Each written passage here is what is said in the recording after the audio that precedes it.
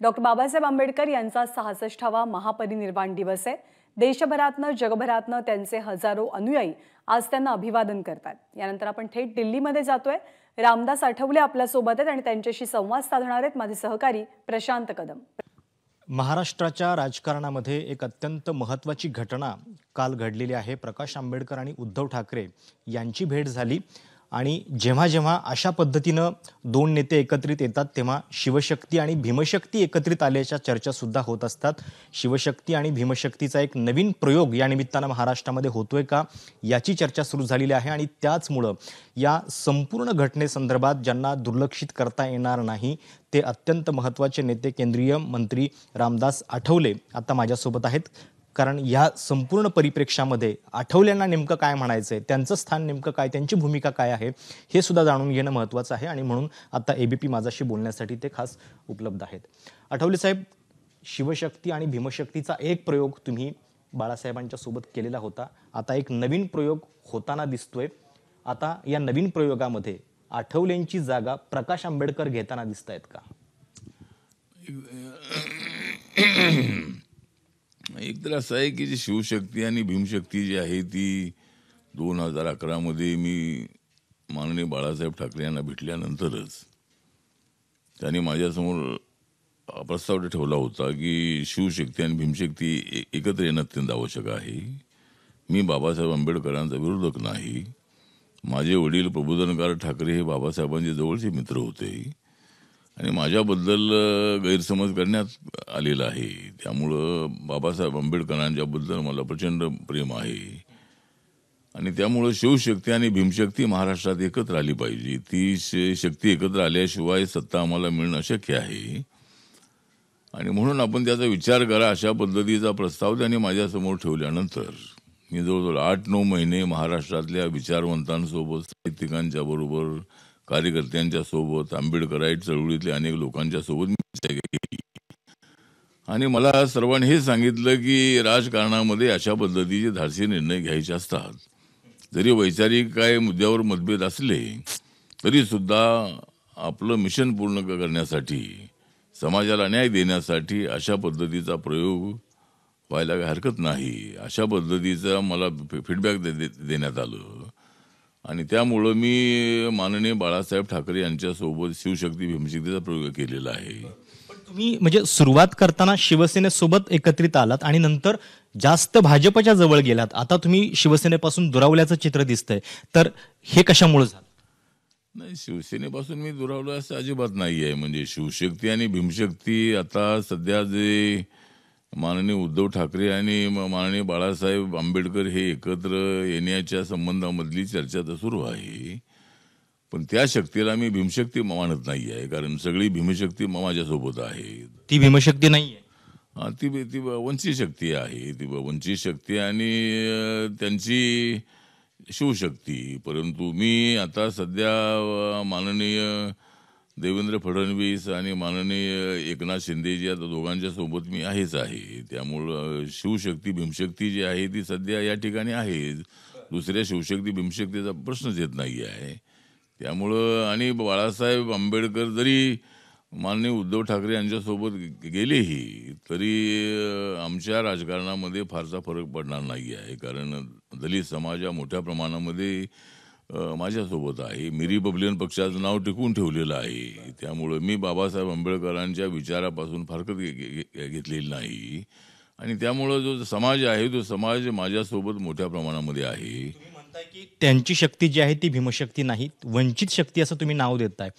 किमान शक्ती आहे हे तरी मान्य करताय? ठीक आहे ना शक्ती. त्यांची शक्ती आहे. त्यांची शक्ती आहे पण माझी भीमाची भक्ती आहे. त्यामुळं त्यांची शक्ती असली तरी सुद्धा त्यांना निर्णय काय घ्यायचा आहे तो त्यांना अधिकार आहे. राजकारणामध्ये एकट्या पक्षाने जर सत्ता येत नाही एकट्या पक्षाने निवडून येत नाही हे त्यांच्या लक्षात आलेलं आहे. त्यामुळं कदाचित बाळासाहेब आंबेडकर हे कदाचित महाविकास आघाडीसोबत जाण्याची शक्यता नाकारता येत नाही आहे तरीही महाराष्ट्राच्या राजकारणामध्ये आम्ही आज म- मजबूत आहोत. एकनाथ शिंदेंची ही खरी शिवशक्ती आहे आणि देवेंद्र फडणवीस यांची शिवशक्ती आहे. त्यामुळं माझी भीमशक्ती आणि त्यांची शिवशक्ती अशी आम्ही एकत्र असल्यामुळं आम्हाला महाराष्ट्राच्या राजकारणामध्ये प्रचंड यश मिळणार आहे. आणि काल खरं तर एक प्राथमिक पातळीवरची बैठक झालेली आहे. तुम्हाला असं वाटतं की ही बैठक पुढे जाईल आणि एकेकाळी तुम्ही पण शि- राष्ट्रवादी काँग्रेससोबत एक एकत्रित राहिलेले आहात. तर या निमित्तानं रिपब्लिकन सगळ्या वर्गाचा विचार करताना बाळासाहेब आंबेडकरांसाठी तुम्हाला काही सल्ला द्यायचा आहे? शिवसेना म्हणजे काँग्रेस राष्ट्रवादी सोबत जात असताना. नाही सल्ला द्यायचा म्हणजे आता एकतर त्यांचं किती पटणार आहे काय मला माहीत नाही आहे कारण बाळासाहेब आंबेडकर हे चर्चेला बसल्यानंतर जागा आवाज तो म- मागतात आणि अनेक वेळेला अशा पद्धतीचा निर्णय होत नाही आहे. त्यामुळं ते महाविकास आघाडीसोबत नक्की जाता आहेत का हे प्रश्नचिन्ह आमच्यासमोर आहे. जायचं असेल तर त्यांनी जायला काही हरकत नाही आहे. त्या- त्यांना अधिकार तो आहे. पण त्यांच्या जाण्यामुळं आमच्या राजकारणावर काय फारसा फरक पडणार नाही असं माझं मत आहे. त्यामुळं मी हा चळवळीमधला कार्यकर्ता आहे. आणि भीमशक्ती टिकून ठेवण्याचं काम मी केलेलं आहे. त्यामुळं कालच्या त्यांच्या चर्चेतून पुढं काय घडणार आहे काय मला माहीत नाही आहे. परंतु काय करायचं आहे तो त्यांना अधिकार आहे. राजकारणामध्ये निर्णय घेण्याचा अधिकार प्रत्येक नेत्याला असतो. त्यामुळं त्यांच्यासोबत जायचं की काय करायचं उलट बा बाळासाहेबांनी त्यांच्यासोबत न जाता जी खरी शिवशक्ती भीमशक्ती आहे त्यांच्यासोबत आलं पाहिजे त्याने आमच्यासोबत आलं पाहिजे यायचं असेल तर त्यांनी बी जे पी आणि एकनाथ शिंदे यांची शिवसेना आणि आर पी आय जो पक्ष आहे त्यांच्यासोबत त्यांनी यायला हरकत नाही आहे परंतु त्यांना त्यांना असं आवाहन करता तुम्ही याच्या आधी सुद्धा म्हणजे तुमच्या पक्षाची अध्यक्षपदाची सुद्धा ऑफर त्यांना दिलेली होती. पण त्यांच्याकडून तुमचं जे एकूण हे आहे त्याला खूप ते वेगळ्या पद्धतीने घेतात. नाही आता माझं मत असं होतं की एक पक्ष असा एक पक्ष एक नेता अशा पद्धतीचं समीकरण महाराष्ट्रामध्ये देशामध्ये होणं अत्यंत आवश्यक आहे. बाबासाहेब आंबेडकरांचा पक्ष जीवन ठेवणं अत्यंत आवश्यक आहे. बाबासाहेब आंबेडकरांच्या पक्षाचे जे तुकडे तुकडे दिसतात ते तुकडे तुकडे जोडले पाहिजेत आणि सगळ्यांनी एकत्रित आलं पाहिजे. आणि माझं मत हे आहे की बाळासाहेब आंबेडकर ऐक्यामध्ये आल्याशिवाय किंवा सगळे नेते एकत्र येत असतील तर बाळासाहेब त्यामध्ये मुख्यत्वे असले पाहिजेत. आणि बाळासाहेबांच्या व बाळासाहेब आंबेडकरांच्या नेतृत्वाखालीच खरं ऐक्य होऊ शकतं असं माझं मत आहे. ते उद्धव ठाकरेंसोबत बैठका करतात याही वेळी तुमची ती ऑफर जी आहे ती अजून कायम आहे? कारण ते काल भेटल्याच्या चर्चा हा माझी ऑफर आहे. माझी जर सगळ्या पक्षाला समाजाला वाटत असेल की सगळ्यांनी एकत्र आलं पाहिजे. समाजाला वाटत असेल की ही सगळी भी- भीमशक्ती एकत्रित असली पाहिजे. तर समाजाने त्यांना सल्ला ते द्यावा. मी तर अनेक वेळेला ऑफर दिलेली आहे. अनेक वेळेला मी दोन पावलं मागे येण्याची भूमिका घेतलेली आहे.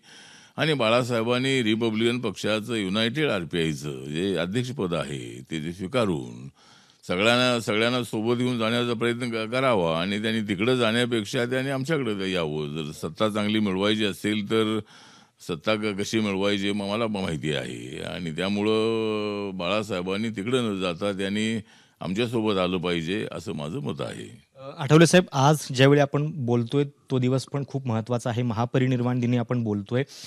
कायम या रिपब्लिकन ऐक्याची चर्चा होत असते पण तुम्हाला संपूर्ण राजकारण करताना नेहमी कुणाच्या कुणाच्या तरी आडोशालाच का नेमके उभं राहावं लागतं? स्वतंत्रपणे अस्तित्व किंवा तुमचं जे महत्त्व आहे तर ते आजपर्यंत का टिकवता आलं नाही आजच्या दिवशी याची काही खंत वाटते का? आणि तुम्ही एका बाजूला बाळासाहेब आंबेडकर एका बाजूला याच्यामध्ये समाजानं नेमकं कुठल्या बाजूला न्याय होतोय असं समजायचं? तुम्हाला काय वाटतं मला असं वाटतं की आज बाबासाहेब आंबेडकरांचा महापरिनिर्वाण दिवस आहे. आमच्यासाठी तो एक शक्तिमान अशा पद्धतीचा दिवस आहे. दुःखाचा दिवस तर आहेच आहे. परंतु बाबासाहेब आंबेडकरांचं व्यक्ति व्यक्तिमत्व महासागरासारखं होतं. ते महामानव होते. आणि त्यांच्या प्रेरणेमुळं त्यांच्या आशीर्वादामुळं आम्हाला पुढं जाण्याची संधी मिळते आहे. आणि मी माझं अस्तित्व कायमचं मी टिकवलेलं आहे. जरी कुणाला वाटत असलं की मी माझं अस्तित्व टिकवलं नाही पण माझं अस्तित्व मी टिकवलेलं आहे. आणि मी ज्यांच्या बाजूला जातो त्यांना सत्ता मिळते. हा अनुभव महाराष्ट्रातल्या वीस पंचवीस तीस वर्षाच्या राजकारणात आहे. ज्यावेळेला मी काँग्रेससोबत होतो त्यावेळेला त्यांना सत्ता मिळत होती. काँग्रेस राष्ट्रवादीसोबत होतो त्यावेळेला त्यांना सत्ता मिळत होती. आणि मी ज्यावेळेला सेना भाजपसोबत आलो त्यावेळेला त्या- त्यांनाही सत्ता मिळालेली आहे. त्यामुळे माझी प्रकाश आंबेडकर शिवसेनेला सत्तेपर्यंत घेऊन जाऊ शकत नाहीत? मुंबई महापालिकेच्या दृष्टीने विशेषतः? नाही जाऊ शकत कारण मुंबईमध्ये माझा ग्रुप हा स्ट्रॉंग ग्रु ग्रुप आहे. आणि त्यामुळं मुंबईमध्ये जरी ते त्यांच्यासोबत गेले तरी शिवसेना अत्यंत खिळखिळी झालेली आहे. एकनाथ शिंदेनी त्याच्यावर प्रचंड ताबा मिळवलेला आहे. आणि त्यामुळं जरी उद्धव ठाकरे आणि संजय राऊत म्हणत असले की आम्ही सत्तेवर येणार आहे महिला मुख्यमंत्री होणार आहे आमचाच मुख्यमंत्री होणार आहे एवढे आमदार फुटलेले आहेत एवढी जनता त्यांना सोडून चाललेली आहे. आणि असं असताना त्यांना सत्ता मिळणार आहे कशी या ठिकाणी नरेंद्र मोदींचं नेतृत्व अत्यंत स्ट्रॉंग आहे. आणि त्यामुळं महाराष्ट्रामध्ये सुद्धा आम्हाला त्यांच्या नेतृत्वाचा चांगला उपयोग होणार आहे. आणि त्यामुळं मला असं वाटतं की यांच्या युतीचा काय फारसा परिणाम होणार नाही पण बाळासाहेबांनी अजूनही त्याचा विचार करणं अत्यंत आवश्यक आहे. आणि त्यांनी तिकडं न जात- जाता त्यांनी इकडं आलं पाहिजे अशा पद्धतीचं माझं मत आहे. हे होते केंद्रीय सामाजिक न्याय राज्यमंत्री रामदास आठवले आणि महाराष्ट्रामध्ये ज्या घडामोडी घडत आहेत त्या संदर्भात त्यांचं स्पष्ट मत आहे. त्यांचं म्हणणं आहे की ही शिवशक्ती आणि भीमशक्ती नाही आहे भीमशक्ती माझ्याच सोबत आहे. तर ही वंचित शक्ती आपण एक वेळ म्हणू शकतो. असा टोला सुद्धा रामदास आठवले यांनी लगावलेला आहे. कॅमेरामॅन वेद पांडेसह प्रशांत कदम एबीपी माझा नवी दिल्ली. एबीपी माझा. उघडा डोळे बघा नीट.